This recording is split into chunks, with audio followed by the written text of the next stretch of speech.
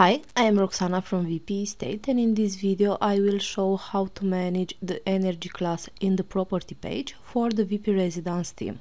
The energy values need to be added in the submission form and for all the fields for energy class to show, you will need to select them first from team options. You will need to go to WP Residence options, go to membership, go to property submission page and here under select the fields for listing submission you will have the list with all fields available for the submission form and you will need to select all these fields. I will select them.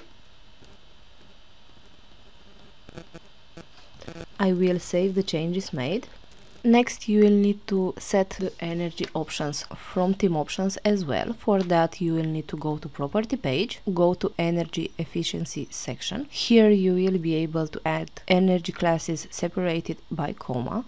Here you will be able to add as many elements as you want. I will add two more. I will save the changes. Next you will be able to change the color for each energy class. Next you will have options for greenhouse gas emissions classes, you will need to add it the same way, separated by a comma. Below you'll find options to set a color for each class added. Once you set this, you will need to save changes. And next I will show how to manage the options from front end. I will show how to manage these settings by editing an existing property. So I will go to user dashboard, my properties list. I will edit this property and you will find the energy section here. You will need to select the energy class and you will need to add the energy index value. You will need to do the same for the greenhouse gas emission index.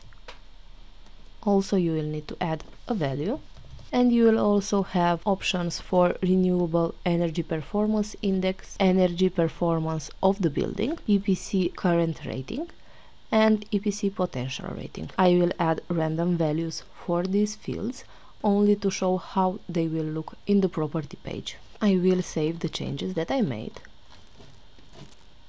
And now I will open the property page and below you will find this section called energy and you will have all the details that I just filled in in the submission form. The same can be done from the admin submission form I will show that as well. So I will go to admin.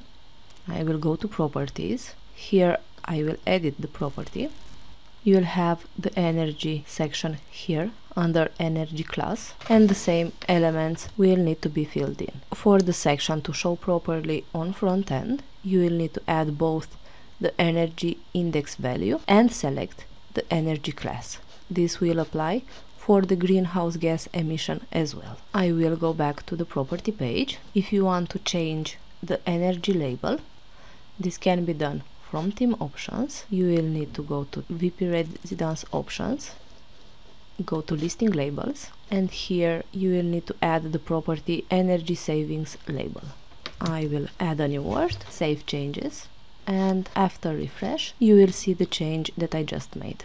These are the settings that you need to make for the energy savings. Next I will show an example on how to add the energy class in a custom property template. I have a property template that already has a custom property template assigned and that template does not include the energy elements. To be able to add the elements, you will need to edit the custom property template. I will do that. When you hover over edit with Elementor, you will see here the custom template that is assigned to the page. I will select it to edit I will add the energy class under the slider so I will add a new section. I will add a heading to add the section title.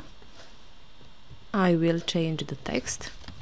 Also I change the color of the record to fit the other sections. And below I will add the element for the energy class. I will use the single detail widget to add the energy class in the page. I will look for the widget. This is the one. I will add it in the page with drag and drop and select the energy class. You will see that the details will show in the template as well. And I will save the changes made.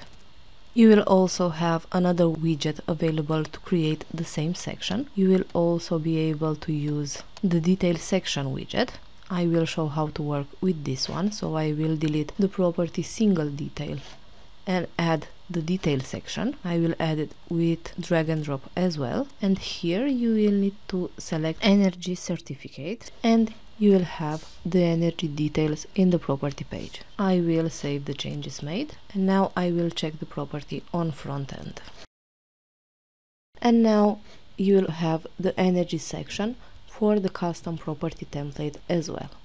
This wraps our video, thank you for watching and do not forget to subscribe to our YouTube channel to get instant notifications on new videos.